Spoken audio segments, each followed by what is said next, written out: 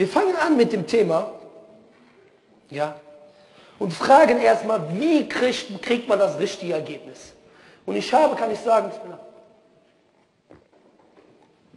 ich habe, kann ich sagen, in diesem Thema wirklich viel gelesen. Ich habe das Thema sozusagen hinter mir, denn ich war Christ gewesen. Und also bevor ich den Islam angenommen habe, habe ich die Bibel komplett gelesen. Und das Neue Testament danach nochmal komplett gelesen. Den Koran dreimal komplett gelesen. Über Hinduismus, Buddhismus, Taoismus und so weiter, Konfuzianismus gelesen. Und ich habe mich damit beschäftigt, nach der Wahrheit gesucht. Und ich habe Bücher gelesen von Juden, die die Trinität verwerfen. Ich habe Bücher gelesen von Muslimen, die die Trinität verwerfen. Und ich habe Bücher gelesen von Leuten, die weder Muslim noch Christ sind, die die Trinität, und Trinität bedeutet das Konzept, der Vater ist Gott, der Sohn ist Gott, der Heilige Geist ist Gott. Und alle drei zusammen sind nur ein Gott. Das christliche Konzept. Hier, die das verwerfen. Und ich habe diese Informationen aufgenommen. Meine Aufgabe ist es heute, in kurzer Zeit diese Meter- oder Meileninformation zu komprimieren in einem Vortrag, sodass jeder Laie, der hier sitzt, rausgehen kann und hat etwas mitgenommen und verstanden. Das ist das Ziel. Und möge der allmächtige Gott uns die Wahrheit zeigen. Es gibt drei Herangehensweisen. Es gibt einmal die historische Herangehensweise, es gibt die philosophische Herangehensweise und es gibt die Herangehensweise, dass man die Textstellen untersucht, die herangeführt werden, um zu sagen, dass Jesus Gott sei, laut Bibel. Die die Christen, die Katholiken, Protestanten vorbringen. Was die historische,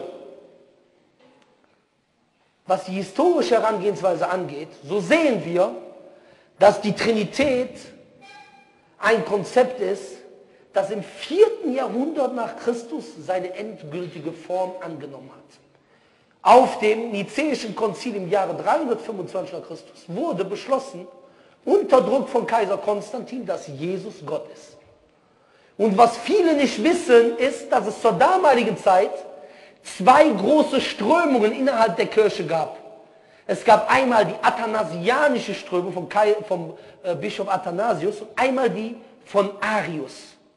Und erst im 6. Jahrhundert hat sich praktisch endgültig diese athanasianische Schiene richtig durchgesetzt.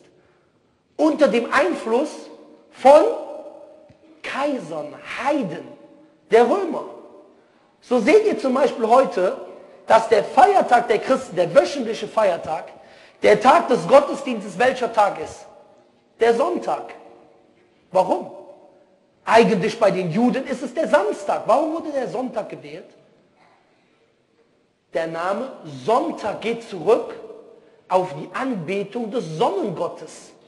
Der bei den Römern wurde an diesem Tag der Sonnengott angebetet. Deswegen haben wir auf Englisch Sunday und auf Deutsch Sonntag. Sunday, der Tag der Sonne.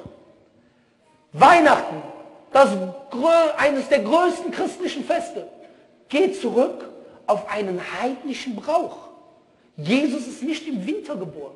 Das heißt, hieran sieht man historisch, hieran sieht man historisch, wie der Gesellschaft dieses System übergestülpt wurde.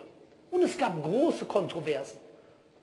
Zunächst 325 nach Christus kam Jesus ins Spiel, als Gott, danach der, der Heilige Geist noch dazu und so weiter. Das ist historisch. Wir sagen als Frage, und die historische Herangehensweise ist für mich nicht die endgültige Herangehensweise, sondern mir geht es hauptsächlich um die Textstelle. Ich will das nur kurz erwähnen. Wie kann es sein, wenn Gott sich offenbart in einem Buch, dass das Grundkonzept nicht eine Kleinigkeit, nicht etwas, was weniger wichtig ist, sondern dass das Grundkonzept solche Kontroversen aufgeworfen hat. Das ist eine Frage. Aber für mich ist das nicht das endgültige Wort. Vielleicht sagt irgendein Christ, ja okay, es gab halt diese Meinungsverschiedenheiten. Aber es sollte zumindest ein unterstützender Beweis sein. Die nächste Herangehensweise ist die philosophische Herangehensweise. Und ich habe ein Buch gelesen, Das heißt Ida'ul Haq von Rahmatullah Kairanvi aus Indien. Das ist ein muslimischer Gelehrter, der zur damaligen Zeit, nachdem die Christen Indien kolonisiert haben und wollten dort die Menschen zum Christentum rufen, zu diesem Zeitpunkt hat er Auseinandersetzungen gehabt mit den Missionaren und hat mit ihnen diskutiert. Und er hat sie besiegt. Und er ist übrigens der Vorreiter von Ahmed Didat. Wie, wer kennt die Ahmed Didat? Kennen sehr viele. Er ist sozusagen der, der Lehrer von Ahmed Didat, weil Ahmed Didat hat seine Bücher gelesen. Ich habe das gelesen und ich habe gesehen, dass er mit sehr vielen philosophischen Argumenten kam. Und ich muss ganz ehrlich sagen, meiner Meinung nach finde ich diese Argumente nicht so stark. Zum Beispiel das Argument, 1 plus 1 plus 1 sind 3 und niemals 1. Wie kann der Vater Gott sein, der Sohn kann Gott sein, der Heilige Geist kann Gott sein und alle drei zusammen sind ein Gott? Wie geht das? Natürlich, aber damit wird man vielleicht jemand, der die Trinität aufgesaugt hat, nicht überzeugen können. Dann kommt der Christ und versucht zu erklären, ja guck mal, die Trinität ist wie Wasser. Wasser gibt es in verschiedenen Aggregatzuständen. Flüssig, fest, gasförmig, ja? Und so gibt es Vater, Sohn, Heiliger Geist. Da sagt dann der Muslim, mir ist es schon passiert, da kamen Muslime haben uns geschrieben, oh, was sollen wir darauf antworten? Ich bin total verwirrt. Wofür bist du verwirrt? Erstmal ist Gott kein Wasser, Punkt 1. Punkt, das ist schon mal klar. Nichts ist im Gleichen. Punkt 1. Zweitens, was hat er hier bewiesen? Denn wir müssen bei jeder Herangehensweise präzise sein. Präzise sein. Hat er hier bewiesen, dass Jesus Gott ist? Nein. Er hat hier nur bewiesen, dass er die Trinität erklären kann mit einem Beispiel. Es gibt einen Unterschied zwischen Erklärung und Beweis. Ich kann zum Beispiel erklären, wie ein Räuber einen Panzerschrank knackt. Das heißt aber nicht, dass ich damit bewiesen habe, dass XY diesen Panzerschrank geknackt hat. Das sind zwei unterschiedliche Sachen, wo sich einige Leute verwirren lassen. Das heißt, selbst wenn du mir mit tausenden Beispielen kommst, dass die Trinität möglich sein könnte, was wir klar sagen, dass es der Logik vollkommen widerspricht, das nur nebenbei, selbst wenn er das könnte, ist es kein Beweis dafür. Deswegen für mich diese Herangehensweise schließe ich sowieso von vornherein aus. Aber wir sagen dann, da kommt der Muslim und sagt, okay, kein Problem. Du sagst, die Trinität ist wie Wasser, ja, Vater, Sohn, Heiliger Geist, Aggregatzustand flüssig, fest, gasförmig. Ja?